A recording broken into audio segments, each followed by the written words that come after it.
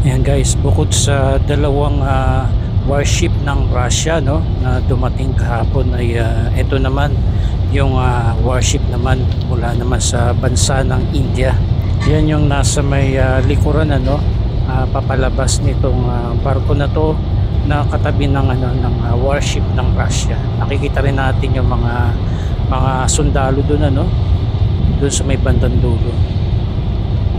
Ayan at ah, nakikita rin natin na ito dumating ngayon yung uh, abot ano from ah, Philippine Coast Guard papalapit siya dito sa mga barko ng ano ng ah, warship ng ah, Russia at ng India. Ayan guys, naririto tayo ngayon sa may ah, bandang likuran ng ano no ng Hotel H2O at nakikita natin itong ah, mga warship mula sa bansang ah, Russia and also nakikita din natin doon ano sa may ah, likuran ano ng mga barko na ito ng Russia na meron ding isang papalabas na barko ngayon. Mula naman iyan sa bansa ng ah, India.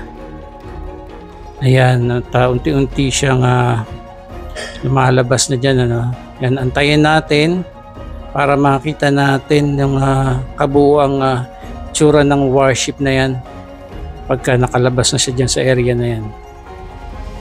Kita din natin ayun, may umaakit na parang ah, Navy ba yan o sundalo from ah, ano, no, from Russia.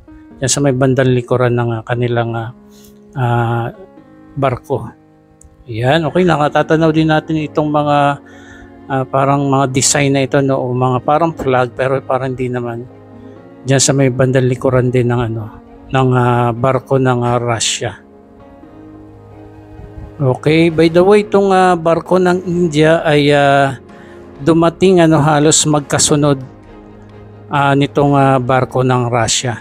Sabi nga sa news ano na ating ah, napanood ng ah, kahapon ay ah, dumating nga itong ah, mga barko mula sa bansang ah, Russia kasunod nitong ah, ah, warship ng India para isang para sa isang ah, pagbisita or ah, ah, para sa isang activity ng ah, goodwill visit. At ang ah, barko na ito ng ah, India, ito yung tinatawag na Kamorta Class Anti-Submarine Warfare Corvette ng Indian Navy na INS Kadmat ay nagsimula daw po sa dalawang araw na pagbisita nito bilang bahagi ng ah, regional deployment nito sa Indo-Pacific.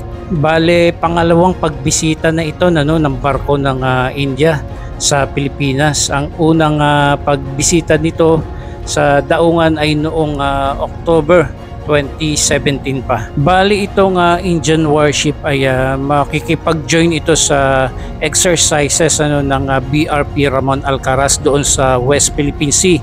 Ito yung tinatawag nila na Maritime Partnership Exercises. And also nagpahayag din po ang ah, ambassador ng India sa Pilipinas na si ah, Shambu Kumaran ng ah, rehiyon ng Indo-Pacific daw po ay may malaking ah, kahalagahan ano para sa India na binibigyan diin ang ah, sentral ng lokasyon ng Pilipinas sa loob ng rehiyon. Binanggit din doon na yung ah, samahan ano sa pagitan ng India at Pilipinas ay ah, nagtatampok ano sa kanilang malapit na ugnayan bilang ah, may parehong di- demokrasya. At matapos ang kamakailang ah, mga insidente sa West Philippine Sea na pinasimulan ng China, nananawagan din si Kumaran ano, ng rules based order at paggalang sa international na batas. Sabi pa niya, lubos nilang sinusuportahan ang mga kaibigan nila sa Pilipinas sa kanilang pagsisikap na matiyak na anuman ang mangyari sa karagatan ay iginagalang ang konstitusyon sa dagat. Ang INS Kadmat ay ang pangalawang barko ng uh, Indian Navy na itinayo bilang isang stealth na anti-submarine vessel.